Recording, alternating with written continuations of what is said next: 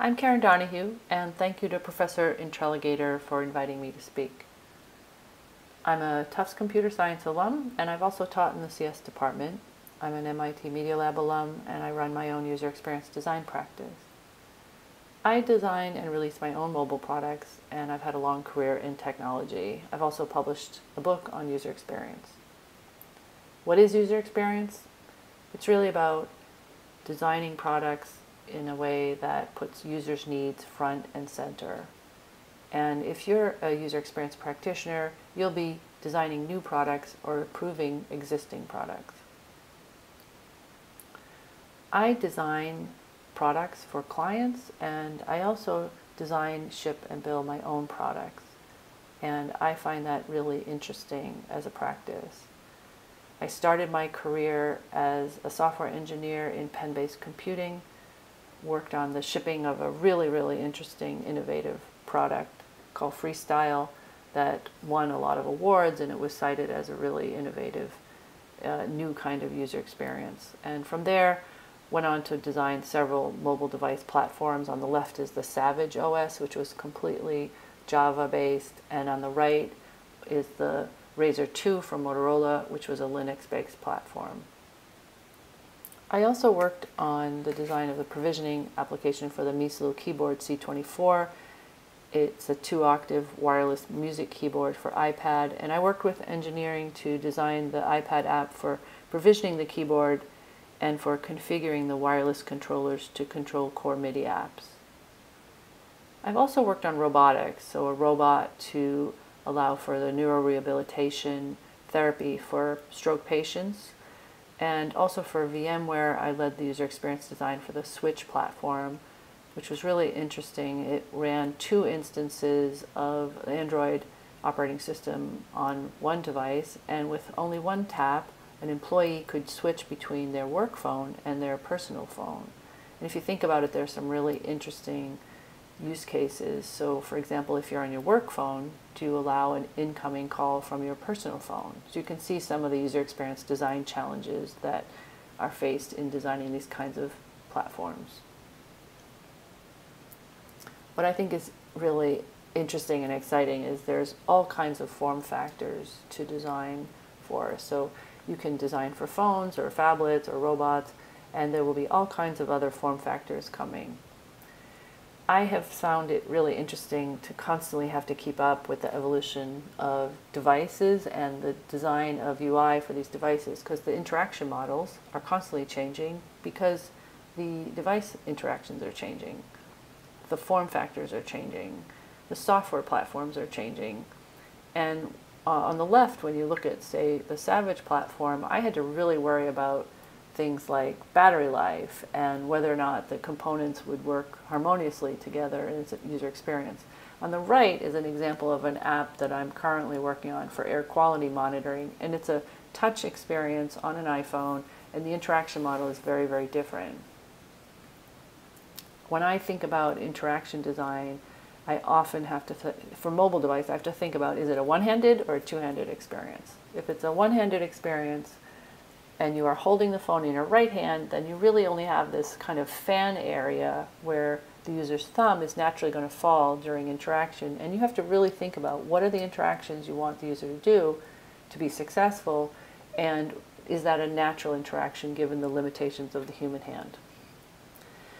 I've also worked on other connected devices. This is the uh, Kodak EasyShare frame, wireless picture frame, done using the Frame Channel platform. And interaction design for this was very interesting because it was a device in the home uh, being used at a distance of about 8 to 12 feet. So you could imagine that there are some really interesting challenges in terms of legibility and interaction there. And then some of the work that I've done in gesture since my work at the Media Lab has been in uh, customizing content in a really easy to use iOS experience.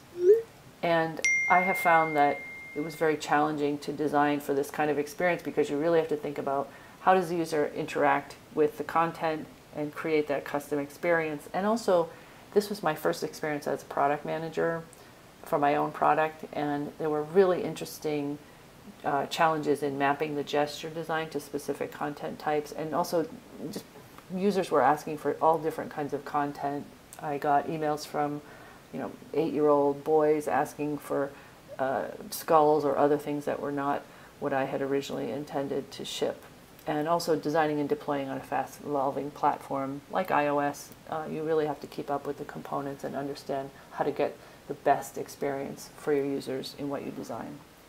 I've been working most recently on an air quality application uh, that crowdsources air quality sensors all over the world.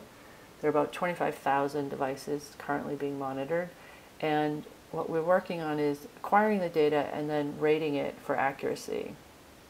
Very technically challenging because the data is coming in from low-cost sensors all over the world and, and some government sensors and figuring out the heuristics to determine what does it mean for data to be accurate. What does it mean to uh, have confidence in the data? There's lots of interesting end user expectations that you have to manage because when you have thousands of uh, users that are using your product, you get a lot of feedback, and so you have to be able to prioritize that and understand how you're going to use that in what you're planning in your roadmap. And interaction-wise, it utilizes a lot of gesture for map, navigating maps and being able to look at data and drill down into details of data. But at the same time, you're getting constant pressure to add more data to these screens, and I'm trying to create a really clean, easy to use experience. So it's uh, it, it's a really challenge to to balance those interests. What is user experience in the real world? It's really about balance. So balancing between interests of the business, of your end users, and the technology. And as a user experience practitioner, you're going to work in the intersection of these areas. There are lots of different product disciplines in the practice of product. So there's user experience practice professionals, there's product managers, there's engineering, and that includes operations and engineering.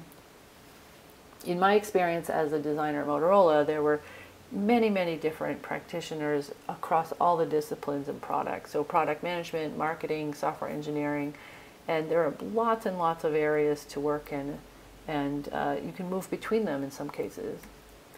In the UX practice, there's many different sort of segments. I work primarily in interaction design and product planning, but there are practitioners who focus on visual design, on motion design, and increasingly new areas like growth. I find product management to be really a fast changing discipline. Really, product managers are responsible for gathering and understanding requirements and also being able to understand the who, what, and why of a product and communicate that vision to the design and engineering teams and, and really get products shipped.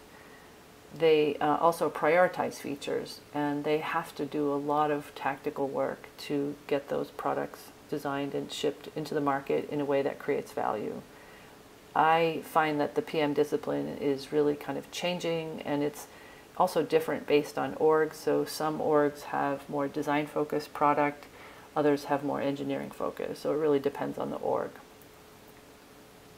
Engineering also has different uh, segmentation. So you'll see people who focus on front end development, back end development, hardware, quality, and uh, also you know development ops and design ops. So it's really about balance, as I said, and the balance is between product management, user experience, and engineering, and UX is really in the intersection of those areas. My career path has gone from being a software engineer through to uh, a UX practitioner and an entrepreneur. Your pathway may be different, or you may have similar uh, kind of experience.